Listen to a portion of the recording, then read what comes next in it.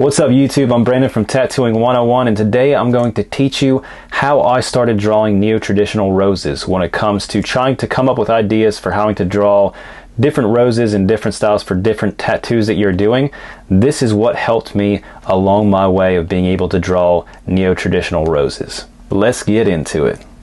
Okay, so this is how I started drawing flowers when I first started tattooing.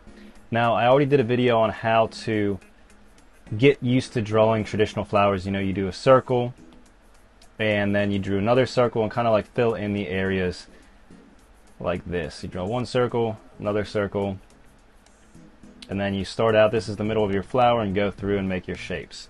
So this is the best way to learn how to draw roses, but when I was getting into neo-traditional and other styles, I had to broaden and think of a way to kind of come up with different rose designs without being really good at kind of drawing off the top of my head. So this is exactly what I did. Whenever I first started, um, I didn't necessarily have a house with a ton of flowers and everything, so I'd go around, try to find rose bushes and take pictures of them.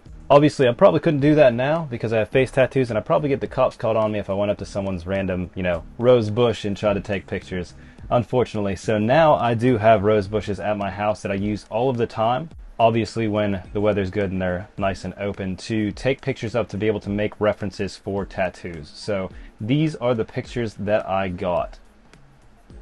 I took this one the other day and it's really cool if you have a water bottle with you. You could just throw some water on the flowers and have these really cool little um, water puddles on the flowers. It makes a really good tattoo for like realism. If you're going for realism, all you would really have to do for this is go to the hue, saturation, and brightness right here, and then turn this down, and that would be your reference right there. You could just zoom in and use this as your tattoo. You could change the darkness on it to be able to see all the little veins in the flowers.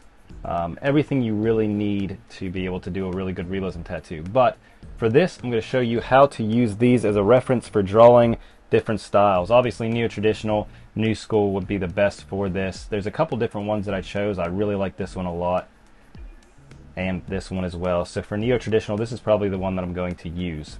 Now, what I would do, turn the opacity down because we don't necessarily need this to be super bright and powerful. We're just going to draw over it anyway. What we're going to use this for is pretty much getting the shapes. So anytime you're doing a tattoo, you want to work with flow. So we're not necessarily going to use the leaves right here, but we're going to use this flower, and we could even use this if we wanted to. We could just do it on a different layer to be able to use it.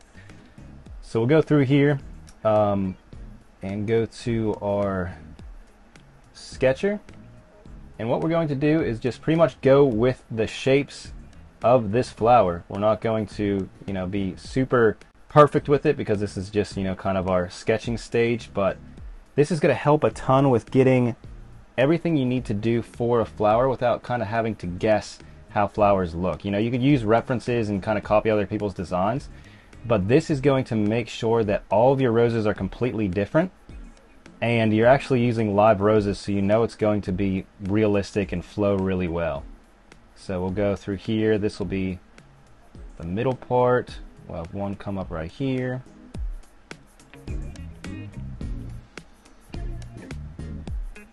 So this part we're just getting the shapes. We're not going through and making everything perfect yet. And with this, you could even add on extra things. If you wanted, you know, this petal to be here instead of over here, you could do that. Um, it just kind of depends on the look you're going for. But this is pretty much the basis of the design. So if we take this layer away, it's really hard to kind of tell what's going on, but you can clearly see that it's already a rose because we used that reference. Now, I'm going through and drawing a rose, you know, off the top of my head, it's going to be really sloppy and really kind of hard to um, differentiate between everything. But with this style, it's pretty much set up for you to be able to do a rose perfectly in whatever style that you really want to. So this is exactly what I would do. And then from there, you could go on to your blue pencil and then go through here. And over top of this layer we can kind of get a structure for everything. Turn the opacity down so we can clearly see. And this is when we're going to try to make all of our really nice lines. We're not using that reference anymore because with this one we're kind trying to just use our minds. We already used everything we could with that reference and now we're just kind of going with the flow of how we want our tattoo to look and kind of turning it more into a neo-traditional style. So right here we could come up and bring that one right there. And this isn't our final product either, so we could kind of be sloppy with this one as well. We're just building up tones, trying to figure out where everything needs to go, but we're not being 100% with everything yet. That'll come on the next layer.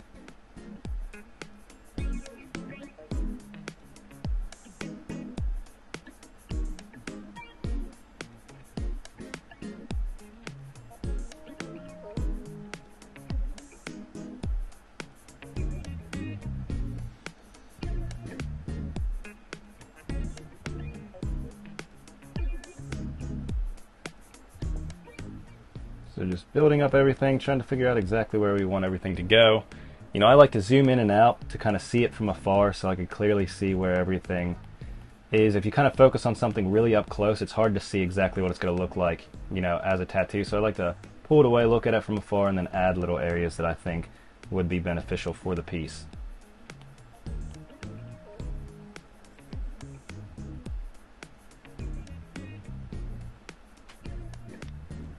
Okay, so from here we could kind of move everything around and try to get a feel for where everything needs to be 100%. So what I'll do, sometimes with this, I'll turn this one down again, get rid of this red one, and we're going to go through this blue one more time just to, to get everything pretty much based out exactly how it's going to go on the tattoo. So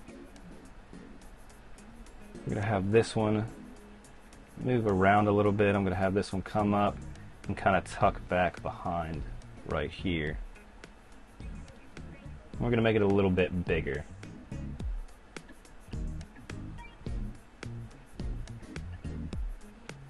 And we are still on our sketcher pen.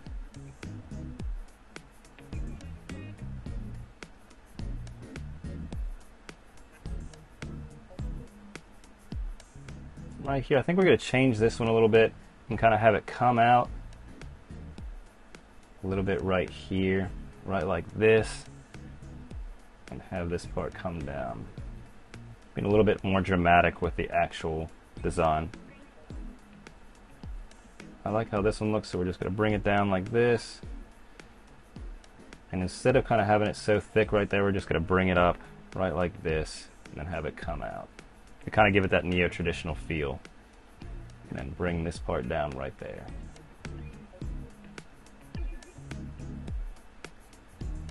Then for the middle, come up to a point here, then bring it down over.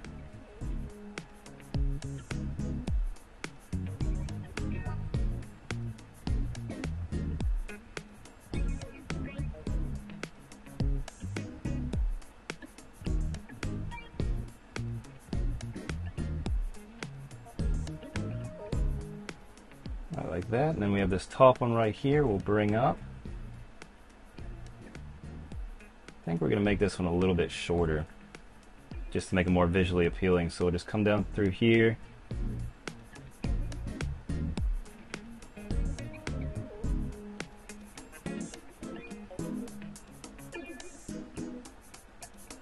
And try to give it some flow to this. I'm going to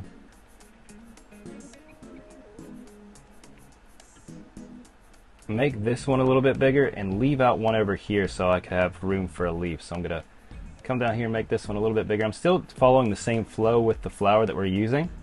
Just, you know, adding little things to it and moving some things around to be able to make it a little bit more visually appealing and for it to work as a tattoo.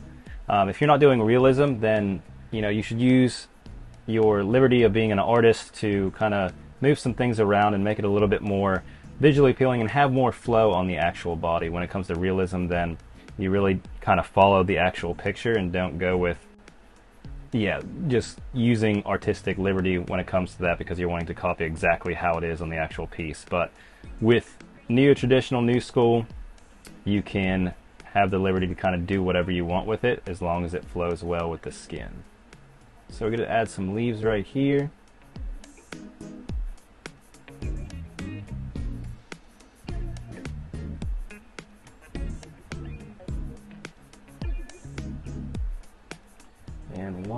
Here.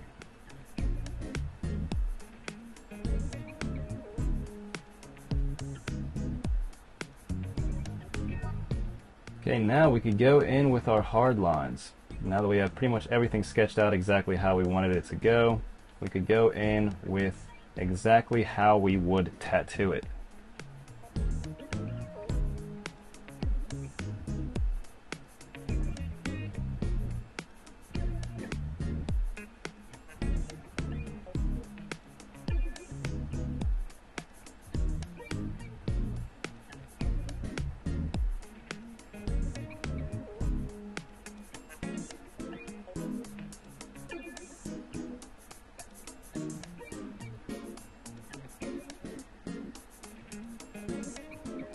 This stage should be pretty easy because all of your lines should be just about perfect when it comes to this stage. So you're pretty much just going over what you've already done, all the work that you've already done in the last steps, and just going through and going over them.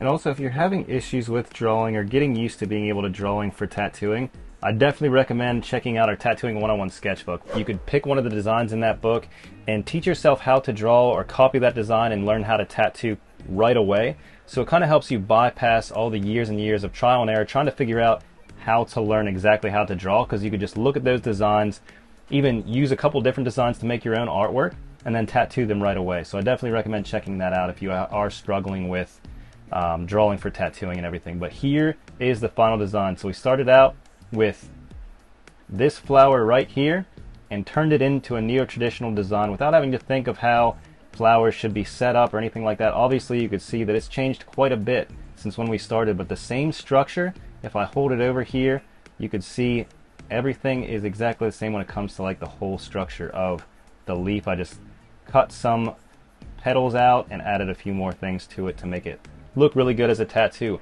But there you go. I hope this was able to help you out, and you guys have a wonderful day.